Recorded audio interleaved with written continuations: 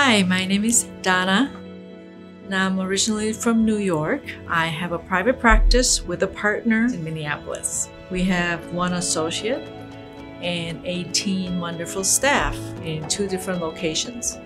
I'm also mom of two boys. So being a female kind of brings a unique challenge to running a practice and, and being a mom at home. So, you know, when you're actually in the heat, you don't even know how you do it. But looking back, uh, I, I think I have some wisdom to share. I'll present a little more like a TED talk, you know, my practice to life philosophy to how I actually did it.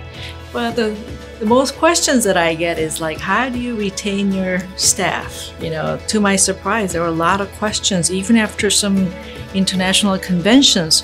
Those some of the topics or um, practice management practice was very sought after. How to motivate your staff, uh, how to retain them, and like how to find an associate.